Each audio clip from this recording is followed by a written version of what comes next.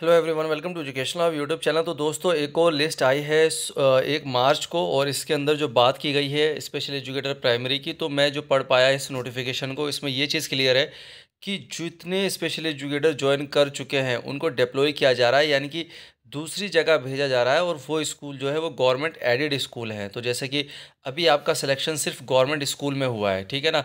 तो government aided में भी डिप्लॉय किया जा रहा है और ये अभी आपको मतलब फ़िलहाल एक मार्च को ये नोटिफिकेशन है और J N C T D with effect from एक अप्रैल 2024 से ये हो जाएगा। Further the candidate who applied for the post of special educator primary have been shortlisted for engagement अब यहाँ पर दो चीज़ें हैं। एक तो ये है, जितना मैं समझ पाया हूँ कि ये वही कैंडिडेट है जो ऑलरेडी ज्वाइन है, इनको डिप्लॉय किया जाएगा। या हो सकता है कि नई फ्रेश लिस्ट आई हो तो उस हिसाब से आप अपना नाम देख लेना।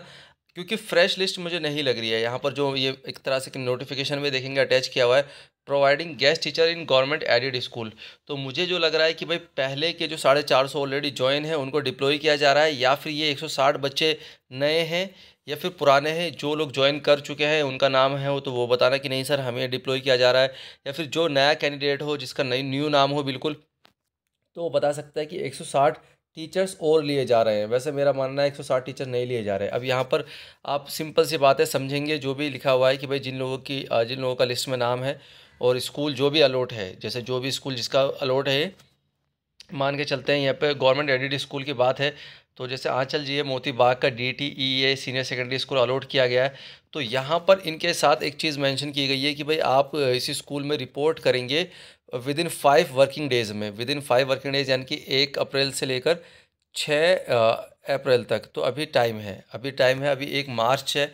और मे भी हो सकता है कि ये जो है जो डेट की करेक्शन हो, क्योंकि यहाँ पर आप देखेंगे तो एक मार्च का ये नोटिफिकेशन है, एक महीने बाद आपको ज्वाइन करने के लिए या रिपोर्ट करने के लिए बोला जा रहा है।